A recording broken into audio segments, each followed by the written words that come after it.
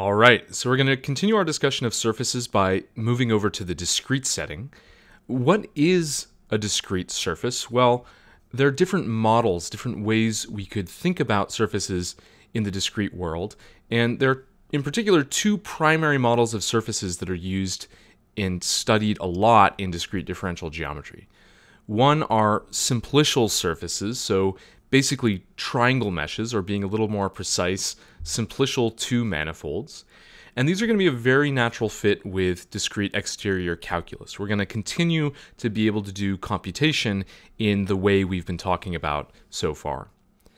The other, which we won't cover too much in this class, are what are called nets. So you can think of these as uh, mappings of the integer grid into three dimensional space, or maybe you have little patches of surface that are little pieces of the integer grid.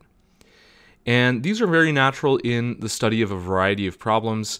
Um, they show up immediately in discrete integrable systems, they show up in computational architecture, and there's some very, very beautiful discrete differential geometry uh, that goes on here. So we might have a chance to touch on these later in the class, um, but if not, something that's definitely worth reading a bit about.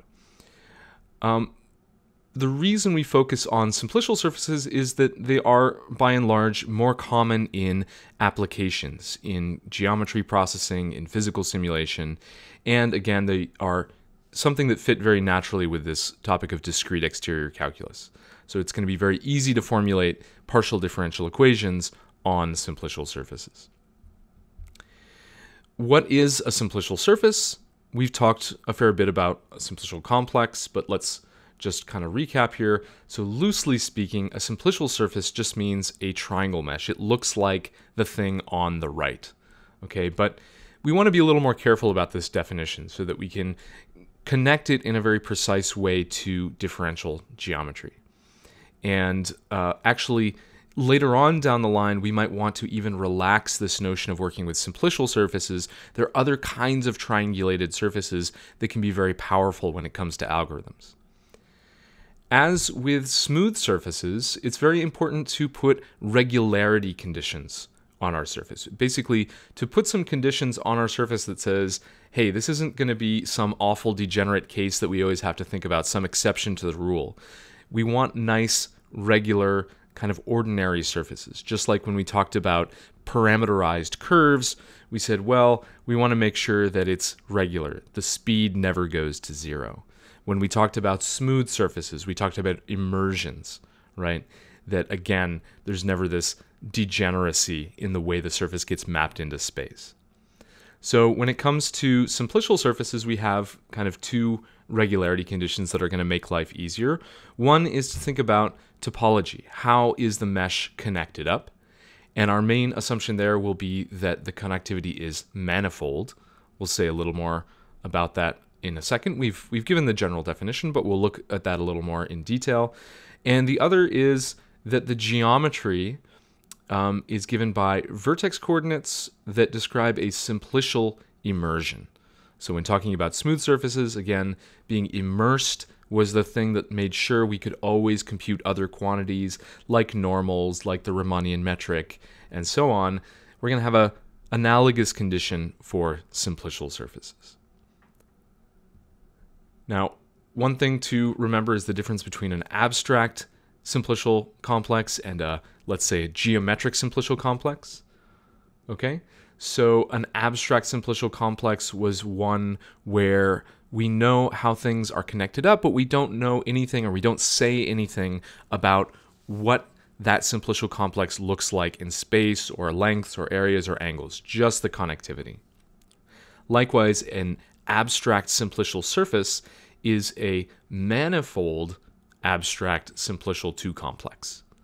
So it's a simplicial complex made of triangles and edges and vertices with some additional conditions that make it nice.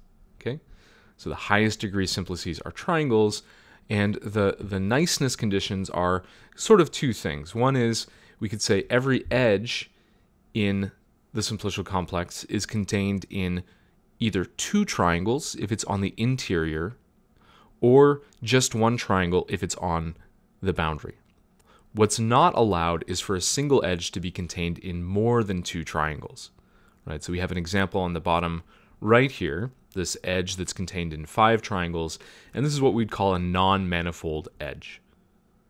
This is just going to make it hard to connect the idea of a simplicial surface to a smooth surface if we were to allow that. Right? How do we talk about things like tangent spaces at points on this crazy edge? Right? So we want as much as possible our discrete surfaces to look like smooth surfaces. Um, another condition, the second condition, is that every vertex of our abstract simplicial complex or abstract simplicial surface will be connected in just a single cycle of triangles. So if you look at the mesh on the top, around any vertex we can find a single loop of triangles, if you like. Whereas this sort of double cone on the bottom has this point, this, this highlighted point, where sort of two different uh, cycles of triangles meet. Again, this is something that does not look like a manifold surface from the smooth setting. Okay? Um, we also gave another characterization of a manifold simplicial complex when we first introduced the idea. Maybe you remember what that is, right? It basically says that the link of every vertex looks like a sphere. So in two dimensions, the link of a vertex looks like a circle, or it looks like a cycle graph. That condition is equivalent to the one given here except that here we also allow boundary. Okay? Um, just in terms of notation, we're typically going to denote our simplicial complex by k. k equals VEF. So V are the vertices, E are the edges, F is the set of faces, and K is for complex. I guess maybe this is this is German, so that's a, a way to remember why do we call it K. Okay, so the really important thing to remember, though, about an abstract simplicial surface is that it has no shape. It really just describes the way the surface is connected up. So that leads to a natural question what should we do to describe the shape of the surface? Okay? And so for that, just as we had in the smooth setting, we're going to encode the geometry of our simplicial surface by a map f that assigns locations to, well, not all points in the complex initially, but let's just say the vertices, right? So each one of these black dots get us, gets assigned some location in three-dimensional space. And actually that's going to be enough to tell us what the geometry looks like everywhere else because between any two vertices, we can connect them up by a straight line segment. We can interpolate them to get the edges. And then we can likewise fill in the triangles by interpolating uh, between three vertices of a triangle. And the, the way we're really doing this is we're using um, what are called barycentric coordinates. If you remember, the barycentric coordinates are coordinates that basically get bigger as we approach one of the three vertices. So if I'm at vertex P0, my coordinates are 1, 0, 0. If I'm at vertex P1, there's 0, 1, 0, and so on. We'll talk in just a moment about what we really mean here by these barycentric coordinates, but the high level idea here is that each simplex in our abstract surface, in our abstract simplicial complex, is now a concrete geometric simplex in Rn. Normally we'll be thinking about R3 because that's where we live and that's where it's easy to draw pictures, but okay, they could be in some other space. In general, just as a piece of terminology, any map from simplices to simplices is called a simplicial map. So this map F is a simplicial map from our abstract simplicial complex into three-dimensional space. Okay, to be more precise about that, to say, you know, did, did what I just said really make sense? We have to answer a basic question, was, which is, well, what actually is the domain of the map F? When we talked about smooth surfaces, we said that the domain of the map F was a region of the plane. But when we're working with an abstract simplicial complex, we don't really have pieces of the plane. We just have this list. Right? It's important to remember this this way of thinking about an abstract simplicial complex is it's just a set of sets that's closed under the operation of taking subsets. Right? Very abstract.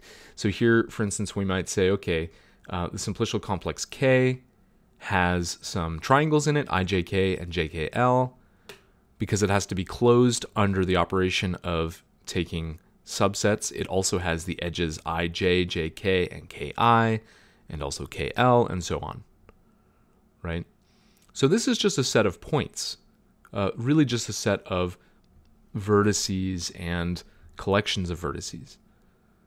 So what are we talking about when we talk about these barycentric coordinates? What is the domain of this map F? Well, the idea, the right way of thinking about this is that barycentric coordinates effectively associate each abstract simplex with a copy of what's called the standard simplex. So let's say for a triangle, for a two simplex, the standard simplex is the set of all points in R3 that have positive coordinates or non negative coordinates, really, and those coordinates sum to 1.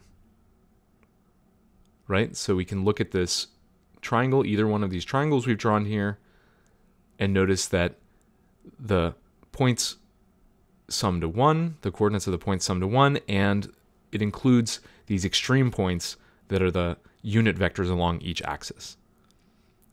We also called this at some point the probability simplex because you can think maybe of these coordinates as probabilities, right? They're non negative and they sum to 1. Okay? So when we talk about our simplicial map that takes our complex K into R3, what we're really doing is we're just making a disjoint copy, one of these standard simplexes for each simplex in K, and that becomes the domain of our map. The map is saying, how does that standard simplex get mapped into R3? Now, one thing that's essential here is that points that are shared by two simplices get mapped to the same location in space. Right? So if they have these two triangles, IJK and JKL, then whatever the map does along the shared edge JK, it has to send those points to the same location. Those two points, those two maps have to agree. We could also say formally the domain is the quotient of all of these disjoint triangles with respect to some equivalence relation on their barycentric coordinates. Okay? Okay, so that's the basic description of our surface, of our discrete surface, let's start try, trying to build up some interesting differential or discrete differential properties of this surface.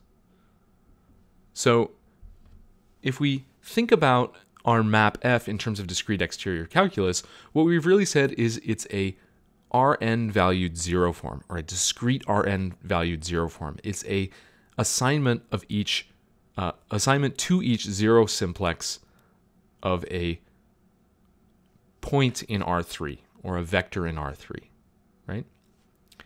So the discrete differential, if we want to kind of take the most basic derivative of this map, that's going to be a value per oriented edge. Right? We said the derivative of a zero form is a one form, a discrete one form is a value per edge. Okay? What do these values mean geometrically? If we try to differentiate this map, what do we get? Well, um, let's think about it just in terms of this example here on the right. We have these two abstract triangles. They get mapped into space by this map F. Okay? And then we can remember, well, what, what really does a discrete one form mean? What does it represent? It represents the integral of a smooth one form over each one simplex. Right? So even if we don't know or we never knew what the complete smooth map f was or its smooth differential df, we can still imagine that it came from such data. Okay? And so what we can say is, all right, well then df along ij, right, our discrete one-form value for the edge ij, what does it mean? It means that we must have integrated the smooth differential df along the edge how do we integrate the differential along the edge? Well, the differential is a one form. It takes as input a tangent vector. In particular, we're going to stick in the unit tangent vector along the edge, along the curve that we're integrating along. So this partial partial s, right? Just this unit vector in the vertical direction. And that's equivalent to um, pushing forward this unit vector into space, right? The differential takes that unit vector on our abstract domain or really on our standard simplex and pushes it forward into three-dimensional space. And then we integrate that. This is also the same as saying we're just integrating the differential one form df. That's kind of the definition of integration of a one form along a curve. Okay, so at this point, we can notice that we're integrating a derivative. And that should remind you of a very important theorem that I'll keep bringing up, which is Stokes' theorem, right? So integrating df along sigma ij is the same as integrating just f itself over the boundary of sigma ij. Sigma ij is an edge, which means its boundary is just the two endpoints. Those two endpoints have opposite orientations relative to the edge itself. And so the integral is just the difference of the values at the two endpoints, fj minus fi. Okay, so in other words, after all that, you know, very, very sophisticated thinking, all we're saying is the discrete differential is just the edge vectors of the mesh. We could have skipped over that. I could have just said, oh, what is the discrete differential? It's the edge vectors on the mesh. Okay, but hopefully now you really understand why, or you really understand what is the differential geometric interpretation of that statement. One really basic thing we can notice at this point is that, like any other discrete one form, this quantity, df ij, is antisymmetric with respect to changing the orientation of the edge. In other words, depending on whether I orient this edge from i to j or j to i, the edge vector is either pointing one way or another. We have to make a choice. Okay? And that choice doesn't matter. We can make it arbitrarily as long as we're consistent about which orientation we use. Okay. So, why are we talking about the differential? Why is this useful for understanding discrete surfaces? Well, let's remember in the smooth setting, our notion of regularity was to say that the surface is an immersion, and that was some condition on the differential. Right? So we study the differential because we want to talk about regularity. In the smooth setting, we said a parameterized surface f is an immersion if its differential is non-degenerate. In other words, if df of x equals 0, if and only if x equals 0. So all this is really saying is no small local piece of the surface gets squashed down to zero in a nasty way. We can have pictures like this. There's nothing here that says globally this map has to have no self-intersections. There's no other sense in which it must be nice and regular. But at least in some little local neighborhood, it must be nice. One way of, of kind of visualizing this also is to say, around any point, I can draw a nice little grid in the plane, and when I map that forward into space, I'll have a nice little grid on a small patch of material in space. Okay? And if we have this condition, if we have a smooth immersion, we said that's basically nice enough to define pretty much any other differential quantity we care about, any other local quantity that we care about. Okay? And that's what we want in the discrete case too. We want to somehow translate this condition about being non-degenerate into the discrete setting. Well, the most naive way of, of doing this would be to say, okay, well, non-degenerate means the differential never goes to zero. So that would sort of imply that none of the edge lengths of my triangle mesh should be zero, right? If I start out with this standard simplex and I have this map that takes each edge of the standard simplex into space, well, I should never be allowed to map a non-zero edge to a zero edge. That's very natural, but as we saw with curves, it doesn't quite get us where we want to be. It doesn't really faithfully capture some important features of smooth immersions. Um, in particular, something that it fails to do is avoid what are called branch points. So here's an example of a branch point in the smooth setting. I've taken this circular disc and I've sort of twisted it around. I've, I've run around the boundary twice on the outside and twisted up the middle. Okay? And this is a map that's perfectly nice. It's a perfectly good immersion everywhere except at the origin, where it fails to be an immersion. So we say in the in the smooth setting, an immersion doesn't allow this kind of behavior. What about in the discrete setting? Okay, well, here's the analogous discrete example. Maybe this picture is actually a little easier to understand. So I have this polygon, this nine sided polygon, and that's my domain. And I'm mapping it into space by, again, winding the vertices around twice. And okay, at some point, this map has to intersect itself. You see this dashed line where two triangles intersect each other, but that's no problem. Immersions are allowed to self intersect. What's really a problem is that, well, there is still this kind of nasty branch point behavior at the center vertex, F0. But if we only say that the thing that's disallowed are zero edge lengths, then we'd say this is a perfectly good map, right? If you look at any individual edge here, it got mapped to some nice long edge. Okay, so in this sense, we've failed to translate the concept of a discrete immersion from the smooth setting into the discrete setting. The, the real lesson that we learned from this example is that coming up with good discretizations is not just a matter of sort of translating in a straightforward way, turning the crank and doing what is kind of mathematically I don't know, most straightforward.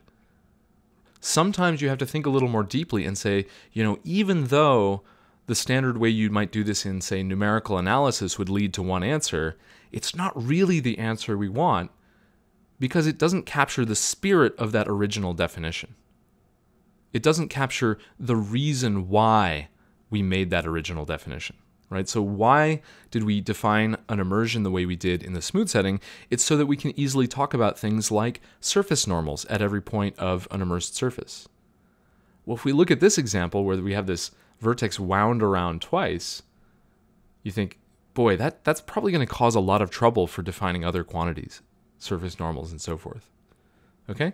So we'd like a we'd like a different approach a different starting point for converting our smooth definition into a discrete one. Okay, so let's try again. And let's try, instead of thinking about this differential or this, this property that the differential is non-degenerate, let's think about a more basic property of smooth immersions, which is just local injectivity.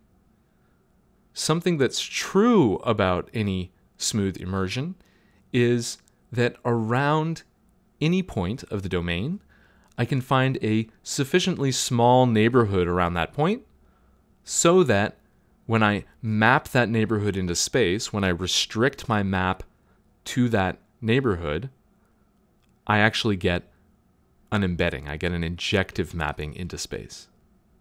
Okay? So that's something that we like about simplicial immersions. I'm sorry, that's something we like about smooth immersions, and it's going to inform our definition of simplicial immersion. So we'll say a discrete immersion now is a locally injective simplicial map.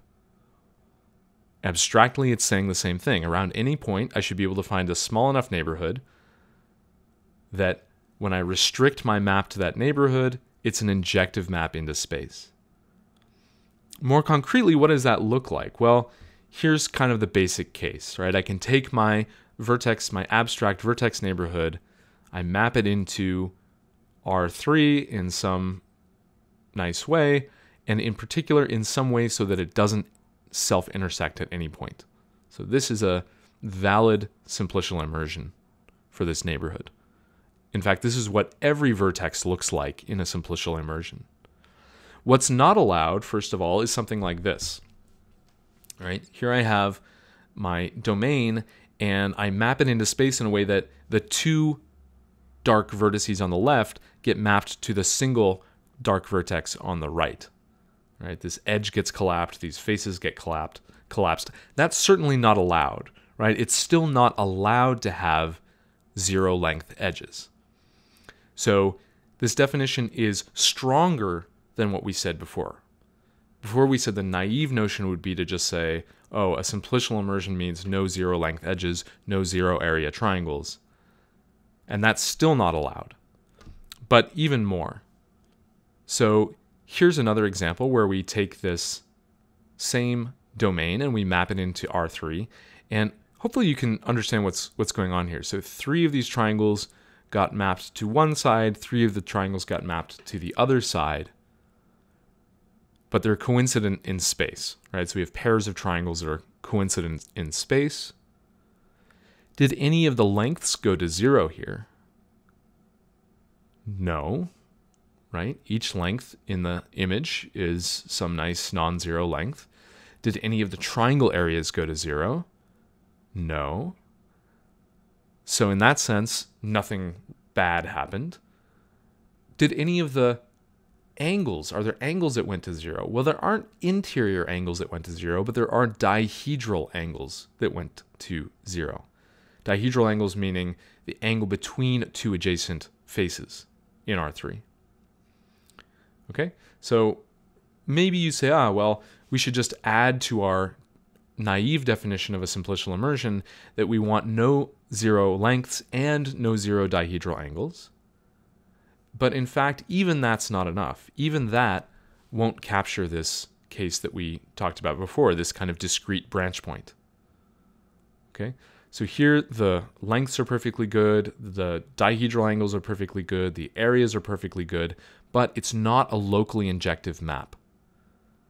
Because if we think about restricting the map to a smaller and smaller and smaller neighborhood around the center vertex, it never becomes an injective map no matter how small we make that neighborhood. Okay? So that's why this is a stronger notion and really the right notion of regularity for discrete surfaces. As long as we satisfy this, everything else is going to work out fine. All the subsequent expressions we give are going to be well defined. We won't be dividing by zero. We won't be doing things that don't make sense. Okay? Um, another important thing to say here is it is a fact that a simplicial map is locally injective if and only if every vertex star is embedded. Right? So we don't have to check all sorts of difficult conditions. We just have to say, does every vertex look like the first picture, the yes picture? If I restrict the map to a vertex neighborhood, is it embedded? Okay? So taking a step back, the main takeaway message from this discussion is when it comes to talking about regularity of simplicial surfaces, saying that you have non zero areas, non zero lengths, non zero angles, both interior and dihedral angles, it's necessary, but it's not sufficient. It's really this local injectivity that matters. And that's a good thing to think about as we move on. Do I buy it? do I buy that I actually need local injectivity, or could I go- have gotten away with this weaker condition of non zero quantities? Actually, for some of the quantities we want to define, you probably don't need this local injectivity.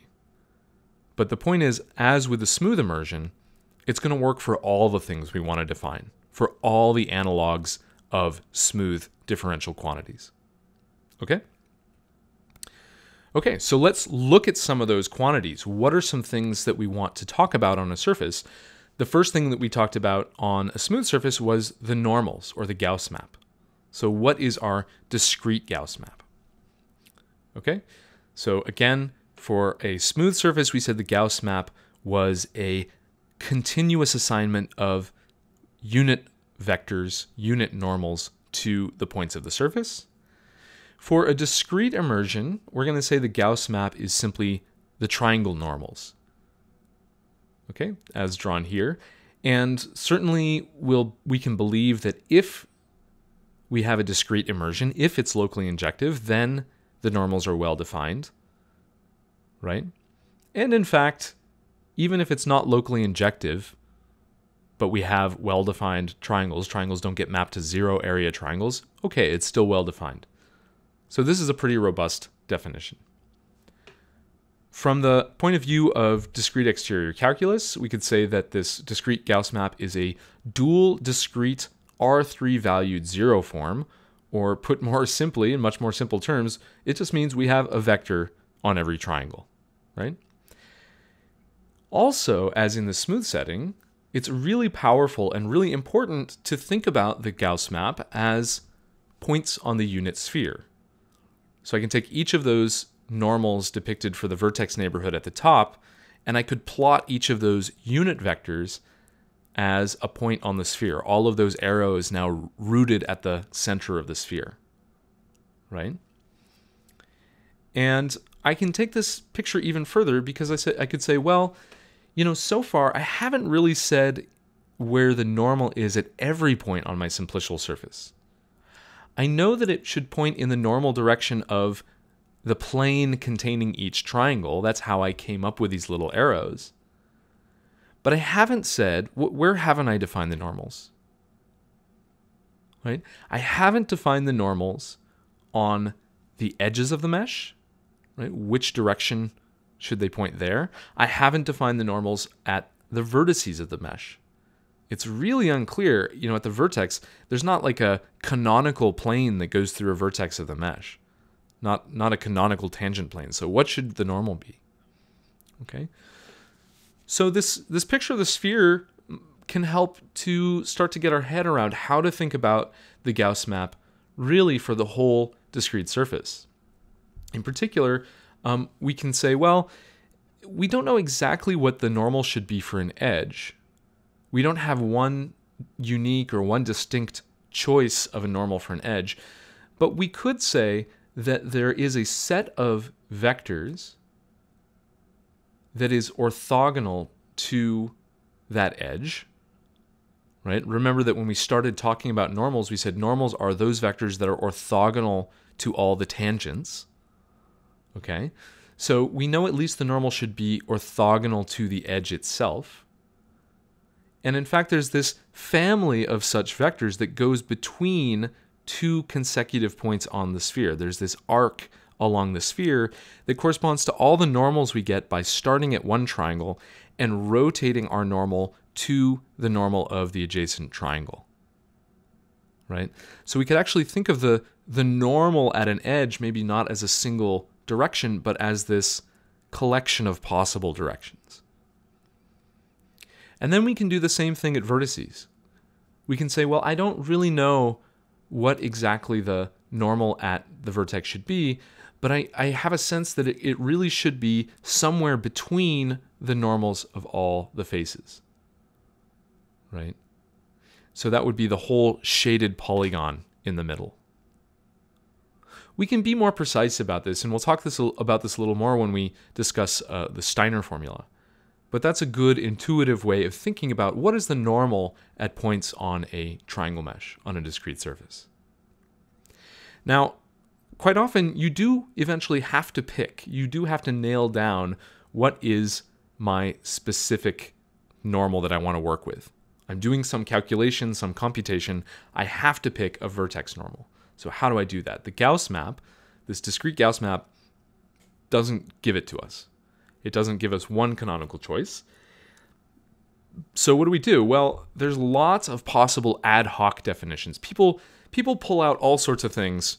You know, they say, "Oh, maybe I'll just take the average of all the normals of all the triangles that touch that vertex." Or maybe I'll come up with some arbitrary um, way of, of weighting these normals that sounds good to me. Well, you have to be careful. And and there there are kind of good ways and bad ways to define vertex normals.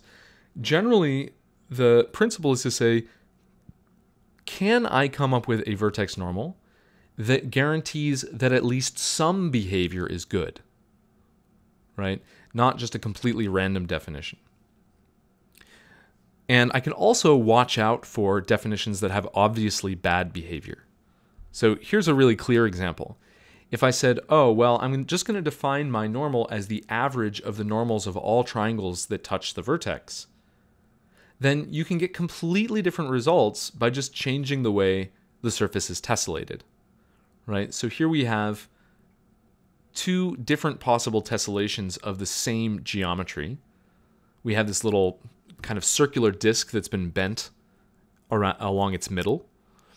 And depending on whether we put more triangles on the right side or more triangles on the left side, the arithmetic mean, the average of these face normals, is going to point in completely different directions.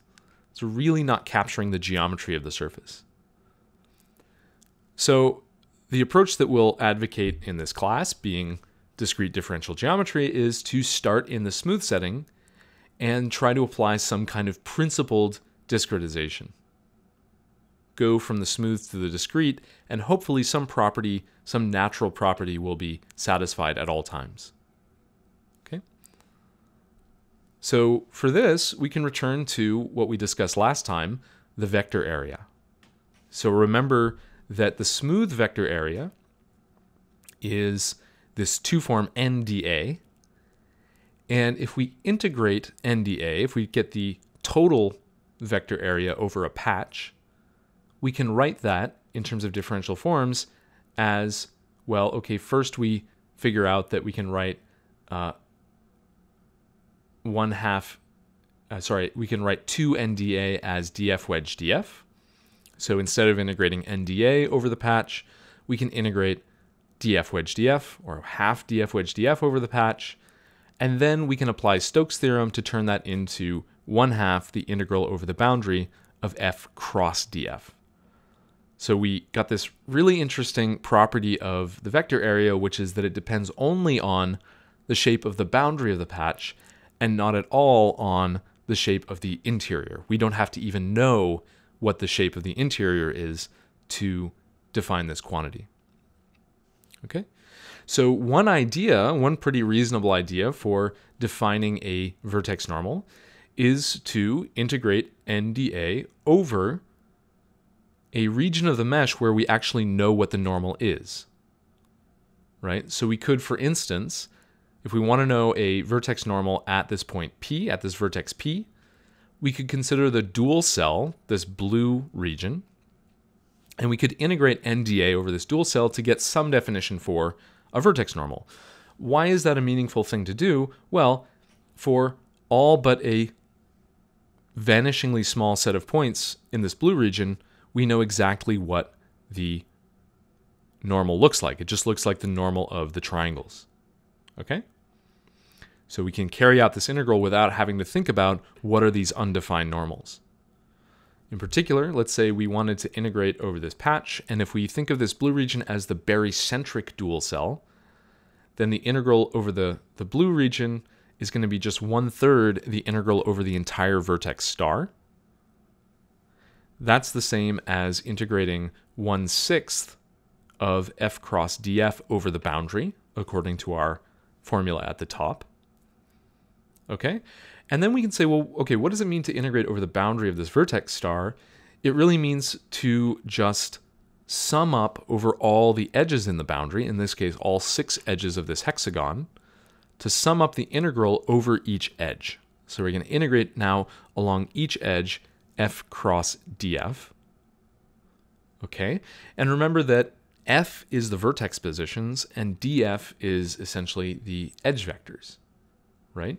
So we can very easily turn this integral into just a final sum, 1 sixth sum over edges in the boundary of half fi plus fj cross fj minus fi. So what did I do there? How did I get this expression? Okay, so think about just integrating over a single edge, ij, just this edge on the far right. Along this edge, df is constant. It's just a vector or vector field pointing along the edge. Okay? And f is linear. It's a function that linearly interpolates between the position at i and the position at j. So a good thing to know about integrating linear functions is that I can get the integral of a linear function by evaluating it at the midpoint of the domain, and multiplying by the size of the domain. In this case, multiplying by the edge length. And by the time I've worked that out, by the time I've, I've canceled out that factor of edge length, I get exactly the expression shown here. fi plus fj over 2 cross fj minus fi. Now, with just a little more work, basically by distributing the cross product over the difference and doing a little simplification by noticing this is a this is kind of a cyclic sum, I can actually write that as a much simpler expression that says, how do I get the area vector for this vertex star? I just sum over all the edges the cross product of the two endpoints. Really quite simple uh, formula. Again, also looks a little mysterious because you'd think, oh, well, if I translate the surface, if I if I add c, some constant c to all the vertex positions, shouldn't this quantity change? Well, you can go back and convince yourself actually that's not true again because of this fact that you have this cyclic sum. And, you know, in some sense, of course, it can't be true because we started out by integrating the normals over this patch. The normals don't change if I translate the surface around. Okay? So that's our discrete vector area. And the most important thing uh, to notice now is to say, well, is it a good definition of a vertex normal? One thing that I find a little bit funny about it is the final expression doesn't depend at all on the location of the middle vertex, the vertex P. I mean, that was kind of the whole setup with the, the vector area, that it, it depends only on the shape of the boundary and nothing about the shape of the interior. Is that a reasonable way to define a vertex normal in a triangle mesh? To say, even if I put this center vertex in some crazy location, the vertex normal doesn't change? Maybe it is, maybe it's not but it is a fairly principled way to approach the definition. There are, however, other very natural definitions. So, one that is at least very intuitively attractive is to say, why don't I do an area weighted vertex normal? So I sum up all the normals of all the triangles weighted by the triangle areas, aijk. Um, at first, this sounds like I'm just doing something arbitrary. I'm just doing it because it sounds nice. Actually, when we talk about discrete curvatures, you'll discover that this area weighted vertex normal corresponds exactly to the volume variation. So we talked about this a little bit when we talked about the curvature of curves. Right? I can think about curvature in terms of making the curve longer and shorter, and that has something to do with the speed at which you go in the normal direction, and so forth. Well, in the smooth setting, if I look for the motion of a surface that increases the volume as quickly as possible, that's just equal to the unit normal direction. So, likewise, in the smooth setting, if I consider the motion of that center vertex that increases the volume enclosed by the mesh as quickly as possible, that's actually going to turn out to be the area weighted vertex normal. Okay, so at least one property from the smooth setting is exactly preserved if we use this definition. Another possibility is to use the angle weighted vertex normal, meaning we just sum up the triangle normals times the interior angles at the corner that touches the vertex of interest. So sum over all incident triangles ijk of theta sub ijk, that's the angle at vertex i of triangle ijk, times the normal nijk of that triangle. Why is this a natural definition? Why is this a good definition? Well, for one thing, it's pretty clear this is going to give us the same result independent of how we triangulate that neighborhood. If we split triangles into two, it's not going to change at all the resulting vector. And this is a very important perspective in discrete differential geometry that we'll talk about later on that the geometry of a polyhedral surface really has very little to do with how it's triangulated. Okay? So there are lots of different ways we can define the discrete vertex normal. This may start to remind you of this discussion we had on the first day of class where we said there are lots of different ways to discretize the curvature of a curve in the plane.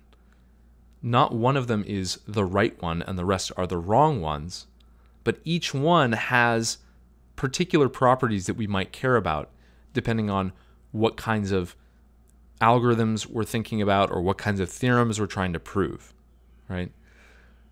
The point here I would say is any, from a practical point of view, please just use anything but the uniformly weighted average. Right? You have so many better options. Please use at least one of them. Okay. So now that we have a pretty good handle on what a discrete surface looks like and some of its basic differential properties, let's talk a little bit about what happens with discrete exterior calculus on curved surfaces. Right? So in the smooth setting, we first defined exterior calculus in Euclidean Rn in this flat space, and then we talked about how to augment it to work on curved surfaces. And the key observation there was, well, we don't have to change everything about exterior calculus. We don't have to change the exterior derivative. We don't have to change the wedge product. We just have to sort of update our Hodge star to account for the fact that the surface has some curvature. And the important idea there is that the Hodge star really captures all the geometric information about the surface. It tells us everything we want to know about length and angle and area and so forth. In the simplicial case, we did the same thing. We started out by talking about discrete exterior calculus for simplicial complexes in Rn. And it's going to turn out actually that for simplicial surfaces in R3, meaning for curved simplicial surfaces, um, life is going to be even easier than it was in the smooth setting. And the, the reason basically is each simplex, each edge and face and so forth, is already flat. So the things we did to define the Hodge star for uh, flat meshes is going to work just as well for our curved meshes. We basically have to make no change to our discrete Hodge star. Okay, so let's let's see how this works. So just remember first that on a simplicial surface, we discretized the Hodge star and represented it as a diagonal matrix that stores primal dual volume ratios. So for instance, to discretize the Hodge star on discrete one forms, we said let's take the dual edge length, L star ij, this light blue edge, divided by the length of this dark blue edge, Lij. And you can work that out in, in a variety of ways. At the end, you can sum up that ratio as a very nice formula, the cotan formula, which says that the ratio is equal to 1 half the cotangent of alpha ij plus cotangent of beta ij, where alpha ij and beta ij are the two angles opposite the dark blue edge. Okay? So that's the value that we put in the diagonal of the Hodge star. That's how we converted a circulation along the primal edges to a flux through the corresponding dual edges. And then we had a similar idea for discrete differential forms of other degrees. So for zero forms, we said, okay, what does the Hodge star do? It takes us from a k form to an n minus k form, where n is the dimension of the space. So for zero forms, it should take us from a zero form to a two form when we're on a surface, which means we're going to go from a quantity stored at zero simplices, vertices of the primal complex, to two cells of the dual complex, so this light blue cell here. How do we do that? Well, we just multiply by the area of the dual cell and divide by the volume of the primal cell, the volume of a vertex. Well, the volume of a vertex is just 1 by convention, right? What is the volume of a zero dimensional set? So the zero form Hodge star is just the area of this light blue polygon. Again, we can write out an expression for this polygon just in terms of edge lengths, L, and interior angles alpha of the triangle mesh. Okay? And finally, for two forms, we said that to go from a two form, a value stored on every primal triangle, to a dual zero form, a value stored on every dual vertex, we just do the opposite. We multiply by the volume of the dual cell, which is 1, the volume of a point, again, is 1, divided by the area of the primal triangle, aijk. And here I've just shown that you can write out this area, again, purely in terms of the edge lengths of the triangle mesh. This is a standard formula called Heron's formula for the triangle area. Okay, so that's what we did for triangle meshes in two-dimensional Euclidean space. What happens now if our mesh is no longer flat? Right, now we want to talk about curved surfaces. Well, the good news is really nothing changes. We can still just apply the same formulas that we saw in the last slide, which depend only on the lengths of the edges and the interior angles of the triangles. So for instance, for the one form Hodge star, we're going to take a length ratio, okay? But now we just have to be careful. This is a length ratio not of lengths in three-dimensional space. So if I have these two bent triangles at the top, my dual length is not the length along the straight segment between those two white vertices in three dimensional space. Instead, it's the length of the straight path between those vertices along the surface or along those two triangles. Now, at first, that might sound complicated. Oh, how do I compute this straight path on this, these bent triangles?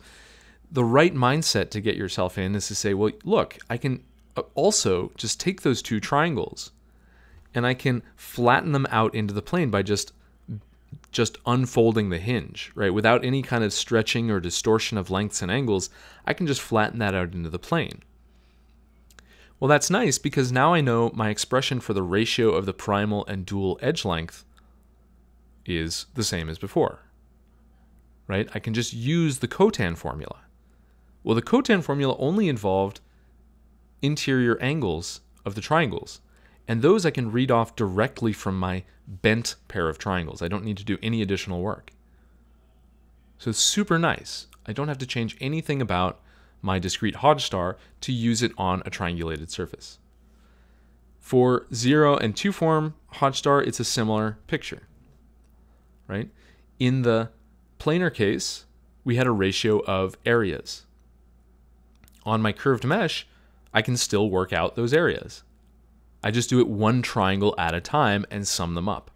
The fact that it's curved really doesn't cause me any trouble. Okay? And it makes sense in terms of the smooth picture that things should work out this way. In the smooth setting, these Hodge star operators are purely intrinsic operators. They don't depend at all about on how a surface is sitting in space. So it really should be true that we can bend and deform the surface in ways that don't distort the geometry, that don't distort the Riemannian metric, and get the same Hodge star. Okay? And the key takeaway again is life is good. The 2D formulas also work just fine for curved simplicial surfaces. All right. From here, this whole story about discrete exterior calculus continues to be just as nice as before. So why is it nice to have these basic discrete differential operators, the exterior derivative, the Hodge star, and so on? Well, because once we have these basic components, we can assemble them in various ways to get more interesting operators, divergence and curl, and, for instance, the Laplacian.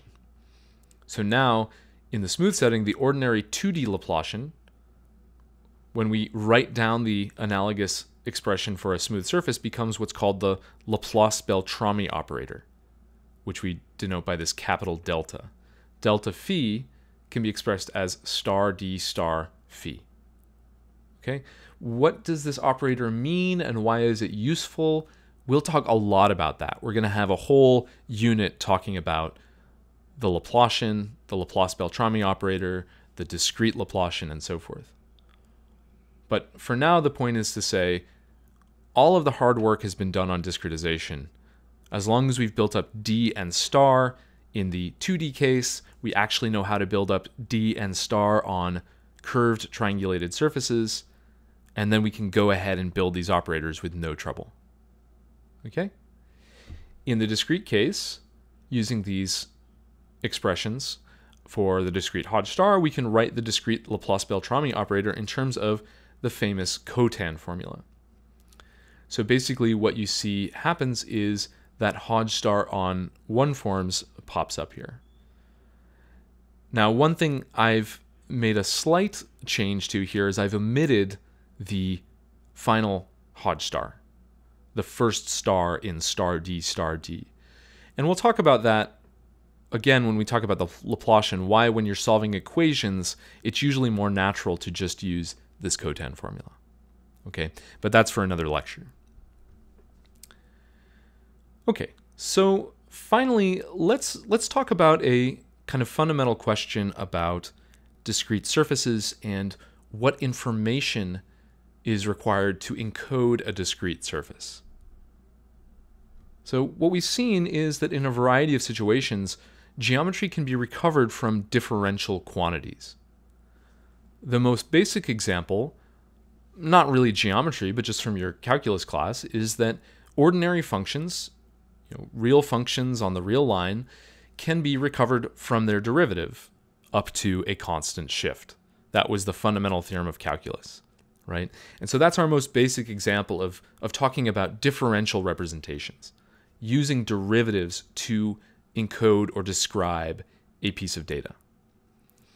We also saw the fundamental theorem of plane curves, kind of a generalization of this fundamental theorem of calculus, which says a curve in the plane can be recovered by its or from its curvature.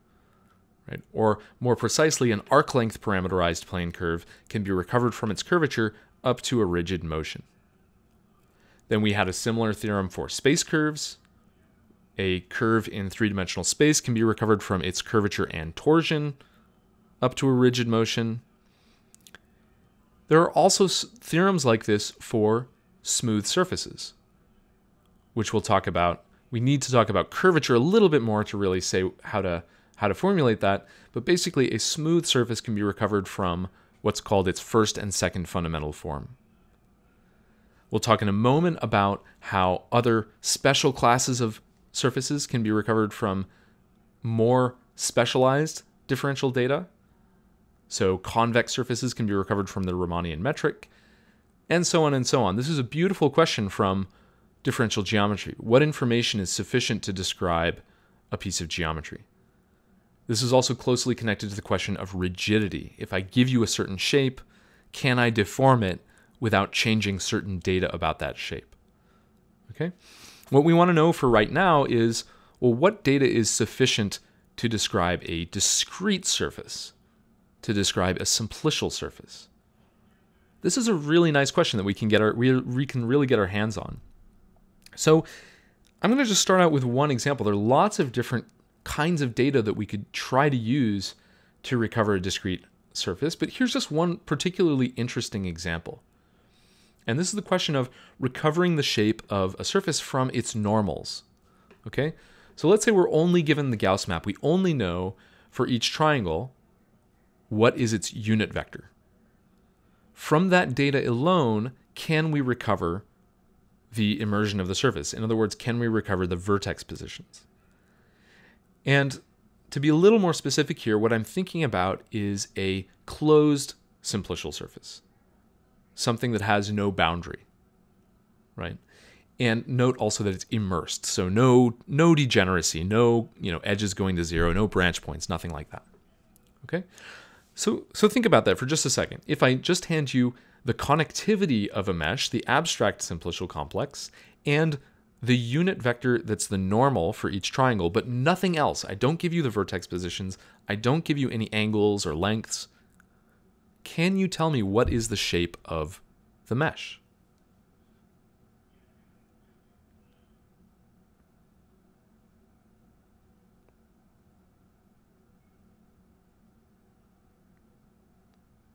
And it's really kind of unfair to give you only about 10 seconds to think about that that problem. It's a it's a pretty tricky question. Um, it turns out the answer to this question is, surprisingly enough, yes. If I know only the normals, I can still determine the vertex positions. How do I do that? Well, here's my basic recipe. So first what I'm going to do is, for every edge of the mesh, I have two triangles next to it, right? I said it's a manifold triangle mesh. So I'm going to take the cross product of the two normals that are adjacent to each edge. Since each of these two triangles is uh, contains that edge, the cross product of those two normals is going to be parallel to the edge. It doesn't tell me the length of the edge, but it does give me a vector that's parallel to the edge.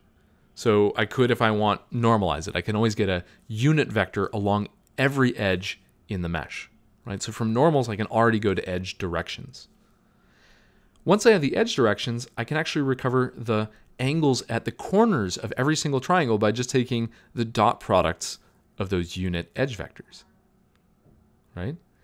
And then, since I know the three angles of a triangle, if I know the three angles of a triangle, that determines the shape of the triangle up to, well, scale and in three dimensions, some kind of rotation, right?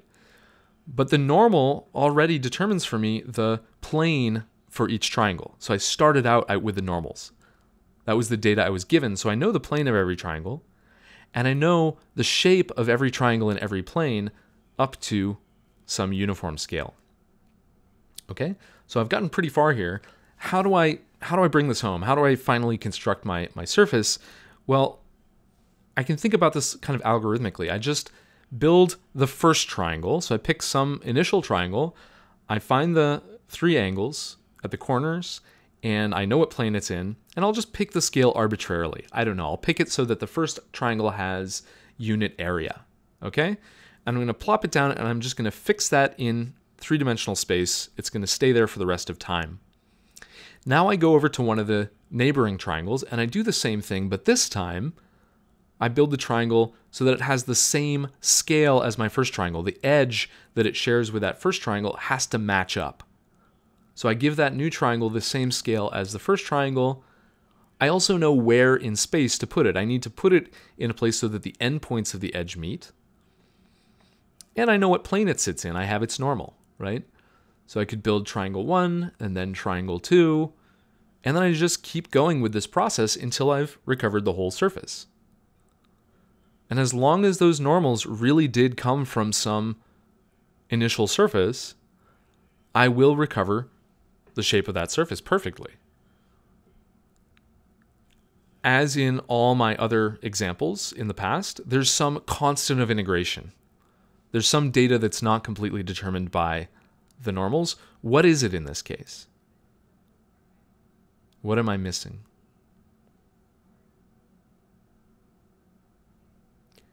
So this time, as I've already said, I have to pick a scale right? I only know the shape up to some global scale. Okay, that's fine. I still know what it looks like. And I've also chosen a translation arbitrarily. Otherwise, the surface is determined. Okay, the next question is Am I lying to you? Does this procedure always work? Is there something wrong here, or is this going to work no matter what surface these normals came from. I'll let you think about that question. The fact, though, is that it does clearly work in some cases, if not all cases. And so, in relation to the smooth setting, we can ask well, is that what we would have expected? Is it strange that we can recover a discrete surface from its Gauss map? Is that something that we could have done in the smooth setting? Is that something that everybody already acknowledges? Oh yeah, that's a that's a description of smooth surfaces. Well, let's consider first, just to get our heads around this, let's consider a simpler case. Let's consider a Gauss map on a curve. So let's say I just know for a curve in the plane, I just know the unit normals. Okay, so let's say for this circle, I don't know that it's a circle, I only know that its unit normals are cosine s sine s. Okay? And there's a problem, which is that unless we also know that the curve is arc length parameterized, unless we also know the parameterization of the curve, then actually this same n of s is the Gauss map of any convex curve in the plane. And so if we go faster and slower along the curve, we can recover these different funny shapes. Okay? Same story for any convex discrete curve. Same story for any convex smooth surface. Just knowing the normals is not enough to determine the surface. Okay? So it's a little bit of a mystery. Why, in the discrete setting, is it enough to just know the normals? I didn't really give any information about parameterization of the surface, did I? I had the mesh connectivity and I had the normals. And to make this even stranger, I just want to point out that this isn't true for all discrete surfaces. If I had a surface that wasn't a simplicial complex, it wasn't made of triangles, but let's say it was made of quadrilaterals instead, well, then the normals definitely don't determine the geometry. Here's an example where in all four of these little pictures, I have exactly the same normals, the same six normals, but I have very different shapes and sizes for all the faces. So something very, it seems something very magical happened in the case where all my faces are triangles. Okay, so I'm going to let you sit with that mystery. This is a good thing to think about offline. Okay. In general, we can ask this question, what data is sufficient to describe a surface, right? We've seen in some cases the data that we have is ambiguous. It doesn't nail down exactly what the shape of the surface is. And this is a question that people have been studying in smooth differential geometry for many, many years. Um, it's something that people recently have started to think about more for discrete surfaces. Why, you know, why is it an interesting thing, thing to think about in the discrete case? Well, because of computation, because of algorithms, because of uh, geometry processing, right? You want to take your data, you want to turn it into some form that's convenient to manipulate or where you can analyze it and understand it clearly or you know whatever it is and then still be able to recover the original shape from that auxiliary data. Right? We, we talked about for instance the fact that it's really nice to think about a curve or a space curve in terms of its curvature or its curvature and torsion because if i now want to compare two curves i've already factored out the rigid motion. I don't need to do global 3D registration of these two curves. Likewise, for surface processing, right? If I work with these differential representations, I've factored out a lot of information that I may not care about if I'm just trying to think about the shape or understand what the shape is. Okay? So it's good to go back into differential geometry and, and say, what have people understood about um, how to characterize smooth surfaces? One nice theorem that's easy to talk about is this one by Cohn-Vossen that says that a smooth convex surface is uniquely determined up to rigid motions by its Riemannian metric. Right? We've talked about this Riemannian metric of a surface. If the surface is convex, it's kind of positively curved everywhere, then the Riemannian metric is enough to describe the entire surface. That's kind of interesting. That's kind of fascinating. What did the Riemannian metric tell us? It told us how to take inner products of tangent vectors. Why is knowing how to take inner products of tangent vectors enough to describe the whole shape of the surface? Well, if you think about it for a little while, you say, oh, well, you know, knowing how to take inner products of tangent vectors is enough to be able to talk about lengths of vectors. If I can talk about lengths of vectors, maybe you can start thinking about things like shortest paths between points. So now I have a more global view of distances between points. I can build up more and more information from this Riemannian metric. And so the game is to say, well, can I build up so much information about the geometry that I actually know it completely? And what this theorem is saying is, yeah, you, you can know that if it's convex.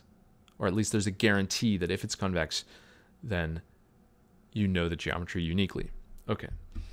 So an analogous uh, theorem in the discrete setting, still still quite old, is is people like Alexandrov and Connelly and Pogorelov and others talking about convex polyhedra rather than convex smooth surfaces. So there's a theorem or several different versions of theorems that say a convex polyhedron is uniquely determined by its edge lengths. If I just know the edge lengths, I can recover the geometry in space. Okay? Beautiful. So the metric sounds really important. Unfortunately, it's not always true in the non-convex case.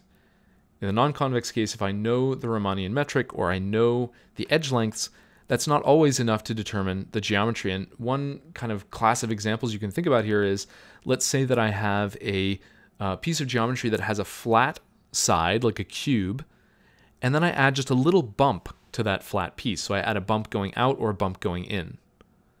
Well, then I can kind of pop that bump back and forth in and out without changing anything about lengths, without changing anything about inner products. Right?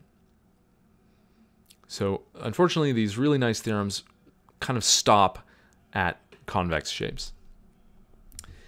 Still, from a practical point of view, um, you might like to know, can I still do a good job of recovering general non-convex shapes from their metrics? So this is a um, this is a, a, empirical experiment I did. I drew a triangulation on a banana, and I took a ruler and I measured very carefully the length of each little edge of that banana, and you know hooked them up into a mesh with the right connectivity and by running some various uh, you know geometric algorithms, I was able in this case to recover the shape of this original banana pretty well, right? Um, does that mean it's always possible? Can you come up with algorithms that are guaranteed to always produce the right shape, right? So this is a really nice kind of contemporary question people are looking at in discrete differential geometry. Um, one recent algorithm that's just very nice, you can go read about it, is this one called Shape from Metric, which does a very good job of recovering a mesh from, from lengths. It falls short of giving a you know hard, uh, rigorous guarantee that it will always give you the exact shape, but has some beautiful, beautiful ideas in it about discrete surfaces, discrete immersions, what are called spin structures, and so forth um, that really get at the heart of this problem. So if you're interested in knowing more about this reconstruction problem, um, I would definitely go check out this paper. All right, so that's it. I will talk to you next time.